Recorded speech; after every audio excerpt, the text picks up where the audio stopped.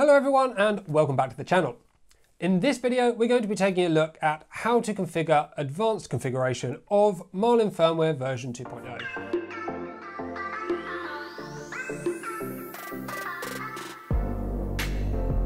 This is going to be applicable to basically everyone with a 3D printer because it's going to be useful for anyone looking to either upgrade original printers with new firmware, making changes or modifications to your printer that require changes to the firmware, or building a printer from scratch. Anything that requires firmware modification will be covered here. Firstly, there are two previous episodes to this that you may want to watch before watching this one. Those got us started with VS Code and PlatformIO, getting everything installed and ready to start working on. And the second episode covered the whole basic configuration of Marlin firmware. So that config.h file, the basic configuration, is all covered. Not every single detail, but again, the most popular features were covered in that. So once you've done those, you're probably looking to do some more advanced configuration, which is what we're going to be covering today. And that's going to be in the config underscore adv.h file. A number of settings in here can cause damage to your printer if they're not handled correctly. So before making any changes, make sure you understand these features as much as you can and always monitor your printer when it's printing or even in the setup and programming to make sure there's nothing going wrong based on a setting that you might have typed incorrectly. Just be careful, basically. The advanced configuration file is no shorter than the basic configuration file. In fact, it is longer. So instead of trying to cover every single part of this 2000 line document in 10 or 15 minutes, we're going to look at the most common features. Well, things that I predict will be the most common because I have no data on what's actually most common. But things like Trinamic TMC stepper driver configuration, how to set up steps per millimeter, not steps per millimeter, number of micro steps, and also the stepper current and maybe how to do IDEX and things like that. These more advanced things that take a little bit more in depth and we'll look at how you set them up, the parameters you need and maybe how you can get to those figures that you actually need for your specific printer. So with that all said and done, I think we're ready to get into the config, so let's get started. So the first thing we're going to be looking at is one of the thermal settings, and that's custom thermistors. A custom thermistor could be something you need to specify if you don't find something in the standard selection. So in config.h, where we selected a thermistor and appointed it to each of the different areas where we're measuring temperature, if you couldn't find in the list the specific thermistor that you're using, then you can use the value of 1000 to specify custom parameters in config.h uh, well, config underscore adv.h. So this is where we do that. You have to specify individually for each temperature sensor, whether it's uh, nozzle or bed or chamber. And there's three values that you need to do that. The pull-up resistor, the hot end resistance at 25 degrees Celsius, and the beta value. The beta value is basically a parameter that determines the curve, so the relationship between temperature and resistance.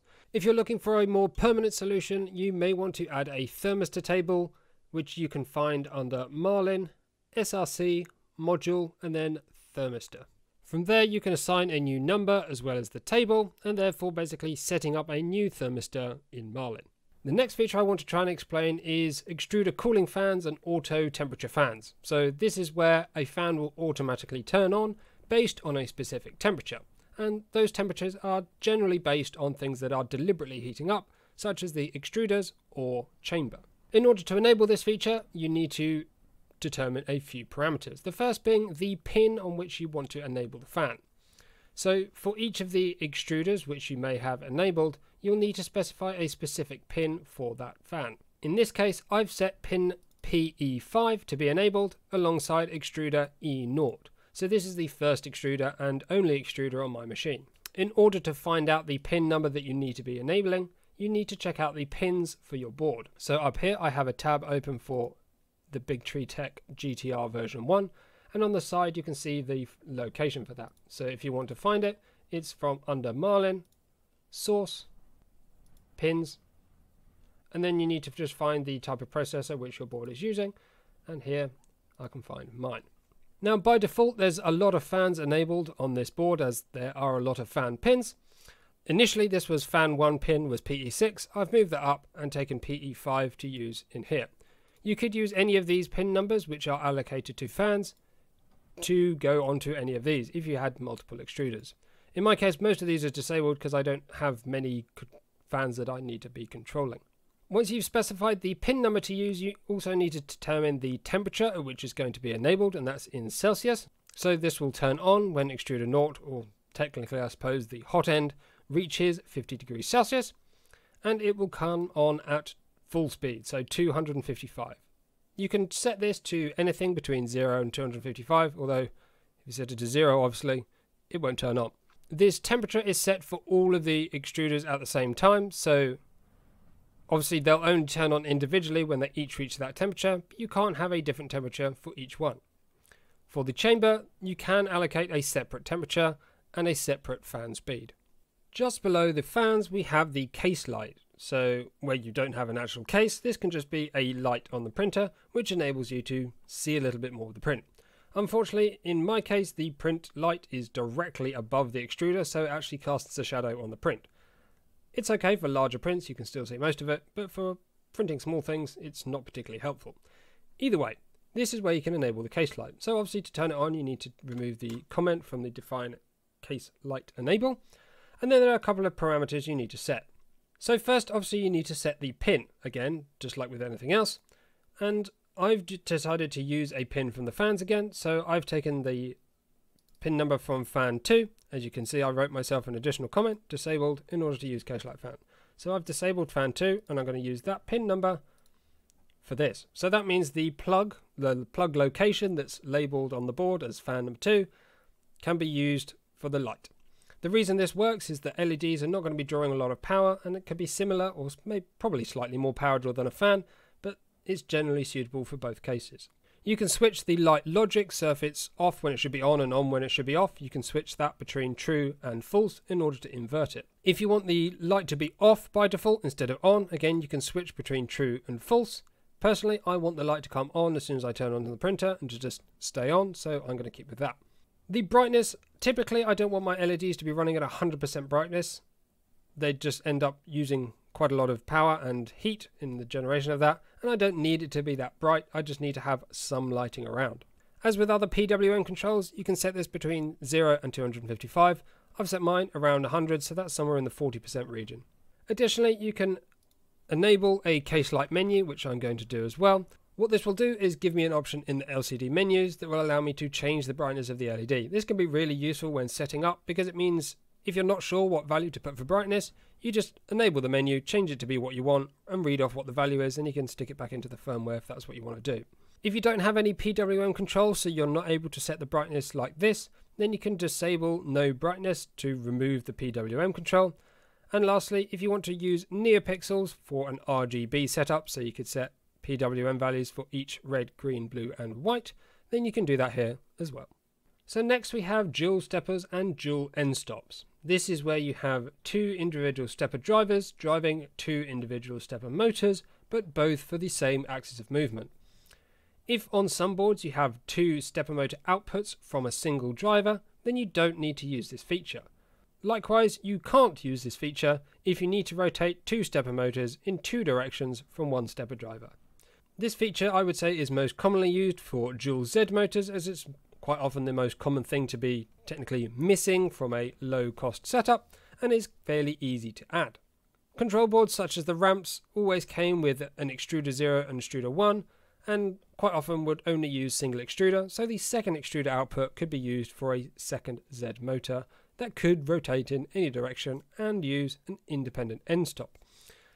As I've mentioned, this feature isn't just for dual X or dual Y. In fact, you can use it for up to four stepper drivers on the Z axis. And this will enable independent rotation of each of those Z motors. And that level of control can allow you to do complex leveling using multiple stepper motors and actually getting true leveling of the bed as opposed to software compensation.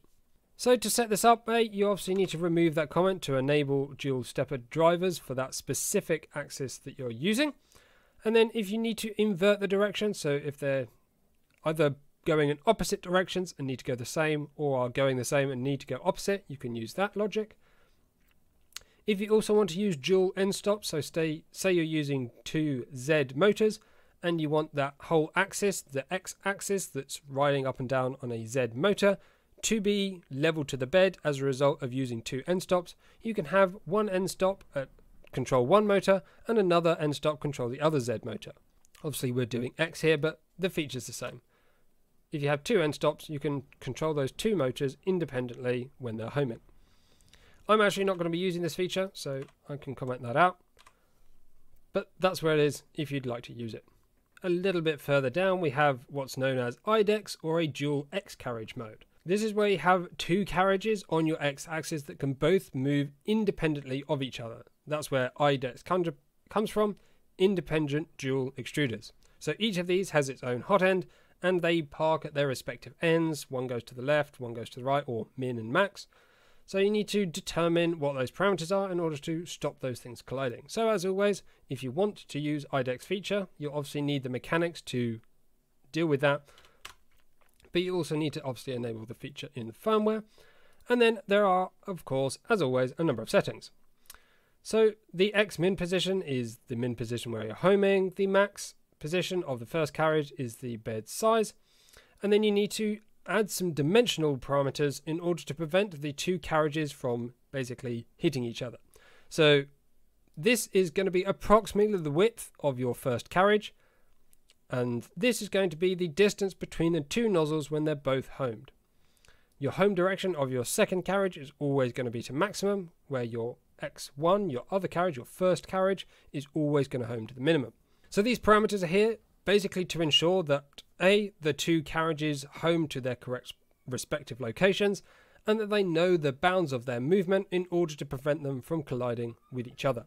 As we're travelling past it, I thought I'd mention now the Z Stepper Auto Align feature, so where you can use multiple Z stepper motors to enable basically bed leveling, or true bed leveling if you like, by changing the stepper motors slightly different heights to make sure that the nozzle is perpendicular to all areas of the bed. You can do that here. There are a number of parameters which you'll need to set. I'm not going to go through those though today.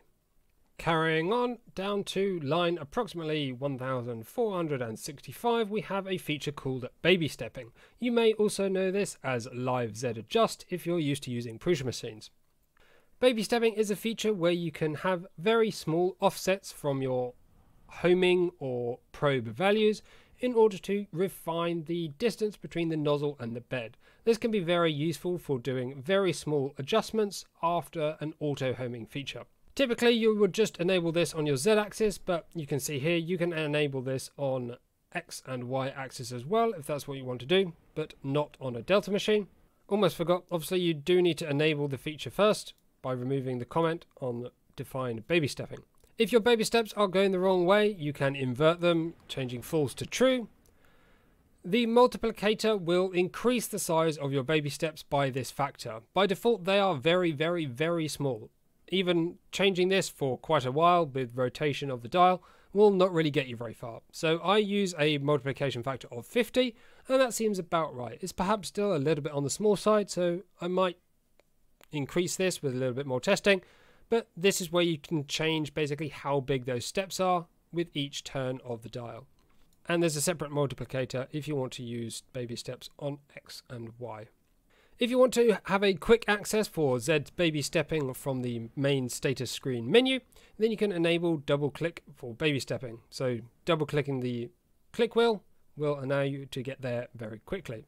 You can also enable a display total on the screen for your baby steps since the last G28 command.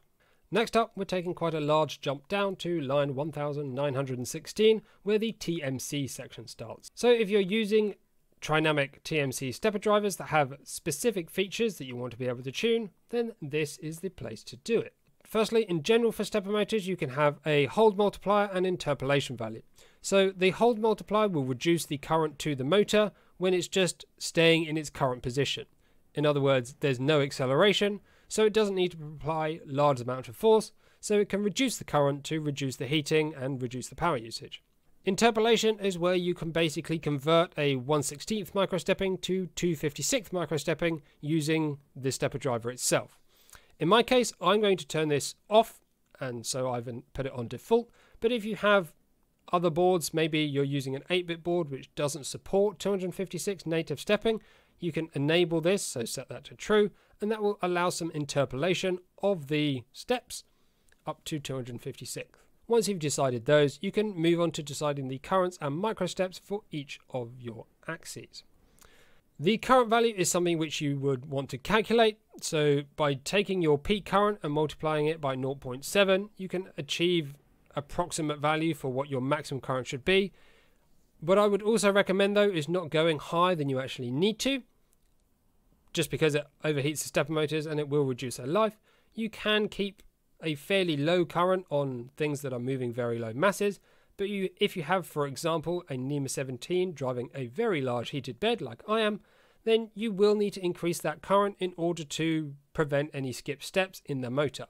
Because the current in the motor, the amount of power, the amount of current, will determine its holding torque or its ability to it's basically how strong the motor is. The more current, the stronger it is, the faster it can accelerate, and the greater it will resist a load during an acceleration. You can also set a different current for homing, so if you just want to home at a low current, then you can do that.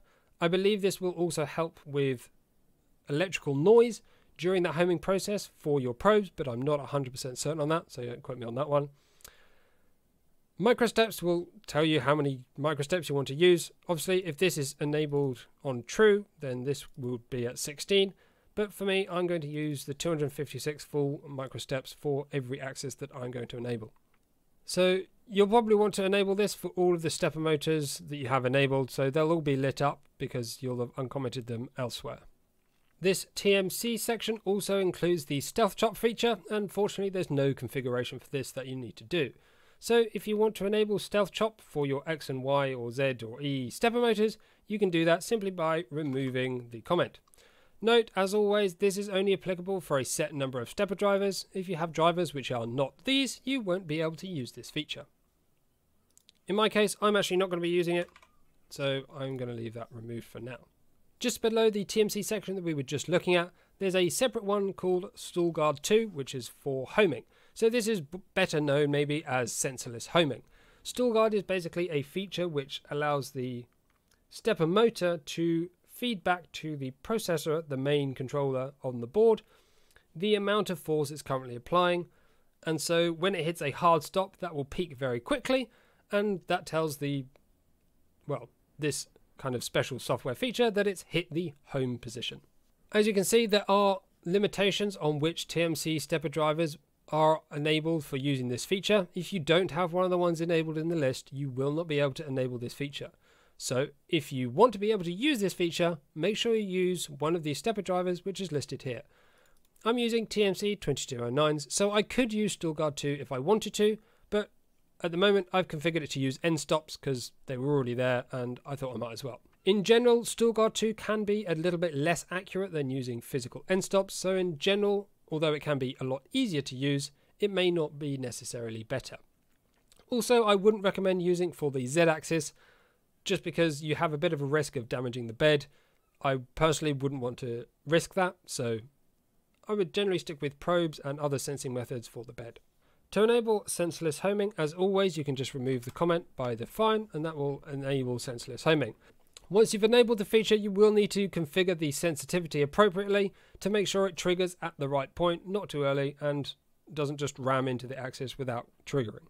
I'm not going to be using sensorless homing, so I'm going to keep that disabled for now. Okay, so hopefully that's been useful for everyone looking to do some advanced configuration of the Marlin firmware. Of course, if you've not seen the previous two videos, make sure you go back and watch those and do that setup and basic configuration before you get into the advanced stuff that we covered today. In the next video, we're going to look at how you can compile the firmware and we'll do a bit of troubleshooting on error messages that you may get when doing your compiling, ready to upload to the printer, which we will also cover in the next video. So that's going to be it from me today. Thank you very much for watching and I will see you in the next one.